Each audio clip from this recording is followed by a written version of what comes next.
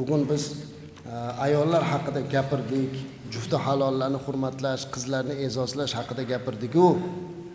Lekin yoshlarimiz o'tiribsiz.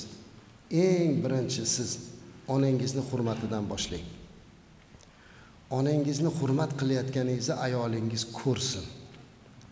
Onangizni hurmat qilayotganingizni farzandlaringiz ko'rsin.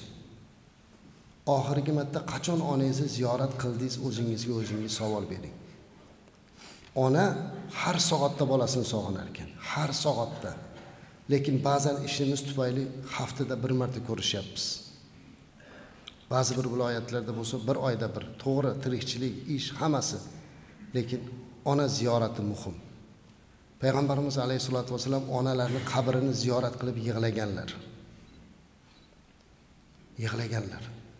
Sahobalar kelib nega yig'layapsiz? deganlarda mana shu joyda mani onam dafn qilingan.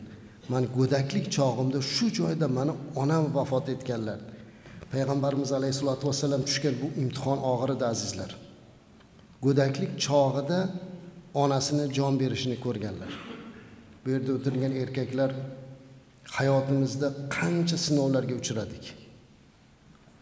Molimizdan ayrilamiz ishimizdan ayrilamiz obro'yimizdan ayrilamiz sog'ligimizdan ayrilamiz. Hayotimiz davrida shunaqa imtihonlarga tushaveramiz. Bu dunyo imtihon. Yoshimiz bitta katta bo'lib mana ellikdan o'tib oltmish yetmishga kirganda so'rang otaxonimizdan. Eng hayotingizdagi og'ir musibat eng og'ir sinov qaysi desa biz yoshlarimizga o'xshab e mana bu paytda dunyoyimdan ayrilganman inqirozga uchraganman demaydi ekanda.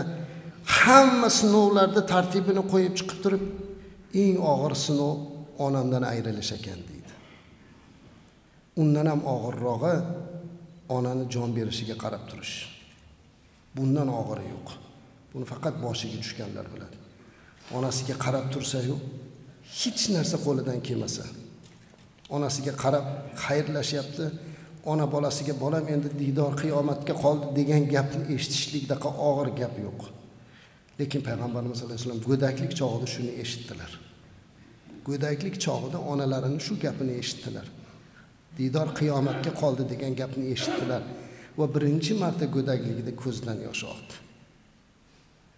Ertaga hammamizni boshimizda bu ish bor. Lekin ona hayotligida onani g'animat bilaylik. Yigitlar onangizdan xabar olib turing duosini olib turing. Man bilmagan ekanman. Man o'zim erta qolganman onamdan. Shu paytgacha eng shirin hid farzandi hidi deb yurardim ekan. Lekin bir kuni onamni ro'mollari qo'limga tegib qolganda dunyoda bundan muattarroq hid yo'q ekan dedi onangizni bir hidlab ko'ring a dunyoda onani hididan shirin hid yo'q ekan azizlar. Lekin hech kimimiz shuni qilmaymiz ekan. O'zingiz savol bering. Qachon oxirgi marta quchoqlab bitta hidlab qo'ygansiz? Topolmaysiz shu hidni. Topolmaysiz. Bugun hayot bo'lganda siz azizlar hidlab oling. Bugun xizmatini qilib oling. Alloh umrlarni uzoq qilsin.